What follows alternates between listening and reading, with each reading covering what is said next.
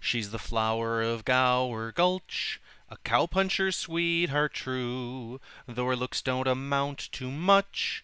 'Cause one of her eyes is blue. She's got skin just like prairie dog leather. She cooks nothing but chuckwagon stew. And her name is Minerva Ulch. She's the flower of Gower Gulch.